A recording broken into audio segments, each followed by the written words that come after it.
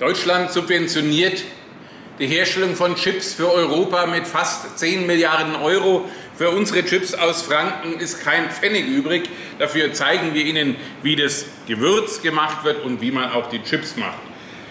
Im Moment ist es ein bisschen laut, deswegen vertonen wir das vielleicht hinterher. Mal sehen. Sie brauchen zunächst mal fest kochende Kartoffeln und dann den Röslehobel, der sich sehr fein einstellen lässt. Und dann wird zunächst mal die ungeschälte Kartoffel in hauchdünne Scheiben geschnitten. Dabei ist es geschickt, die Kartoffel festzuhalten, sonst tut es weh. So, wir arbeiten mit Olivenöl, einfach weil es den besten Geschmack gibt. Und dann verteilt man die Kartoffel auf dem Teppanyaki, der auf 8 beheizt ist. Das sind ungefähr 180 Grad. Idealerweise fängt man ein bisschen außenrum an und geht dann von außen nach innen mit dem Belegen. Und am großen Teppanyaki haben Sie ja zwei Wärmezonen. Aber es sind beide gleichgeschaltet, weil wir wollen ja, dass alle Chips halbwegs gleichmäßig werden.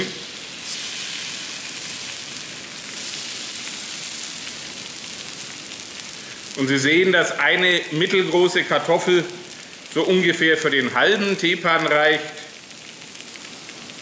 Wenn Sie einen ganzen voll machen wollen, dann brauchen Sie noch eine.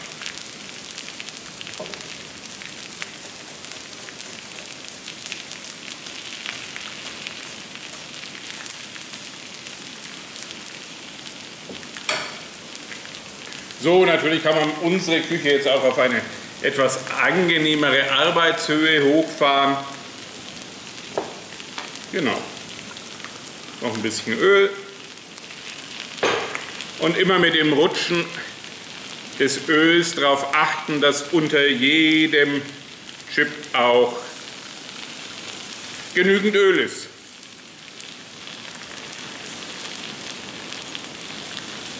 Nachdem der Teepan seine Temperatur exakt auf den eingestellten Wert, in diesem Fall 180 Grad, hält, brauchen Sie auch bei Olivenöl keine Angst zu haben, dass es zu heiß wird. Das funktioniert bei uns seit über 20 Jahren. Ich hoffe mir, dass der Sturm etwas nachlässt und dass wir zwischendrin den Newsletter drehen können. So, Sie lassen die Chips drauf liegen, so lange, bis Sie am Rand außenrum sehen, dass sie jetzt von unten schon etwas gebräunt sind. Dann ist es wichtig, dass Sie eine Spitzzange haben und manchmal ist auch die Schwachtel sehr hilfreich. Wenn irgendwo dann eine Kartoffel anhakt, kann man sie etwas leichter entfernen. So, sie wellen sich schon etwas. Sieht man hier, da kann man dann schon ganz einfach die Kartoffeln wenden.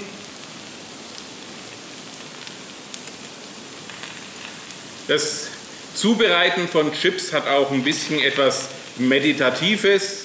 Und Sie sehen, hier sind sie schon schön gebräunt. Ich kann jetzt auch das Öl, was an den Rand gelaufen ist, hier noch nutzen und die Kartoffel da noch reintauchen, sodass also wirklich alle sehr schön goldbraun werden.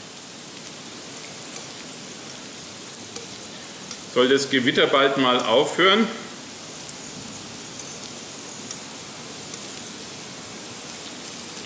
Dass wir den Ton für den Newsletter machen können. Extra bis abends gewartet, dass alles schön ruhig ist. Und jetzt kommt das Gewitter.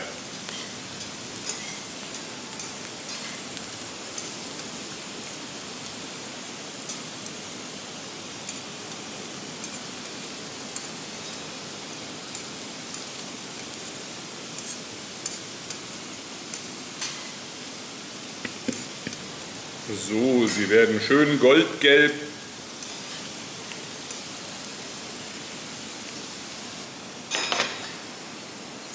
Während des Kochens einen Schluck Wein in den Koch schütten. Der Silvaner von Manfred Rote, eine Biowein. Immer noch Gewitter. Ist bald Ruhe. Mai. So, wenn sie schön goldbraun sind, packen Sie sie auf ein schönes Küchenkrepp. Naja, kann man auch noch eine größere Palette dazu nehmen.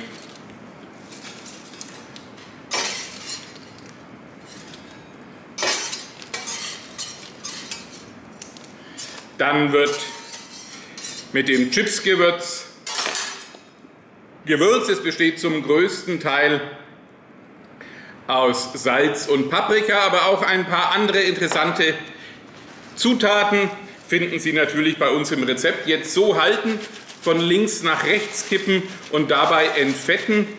Und wenn Sie das Ganze jetzt auf einen Teller geben, Teller, Teller,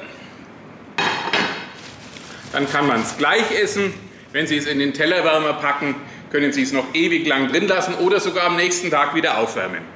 Wir wünschen guten Appetit.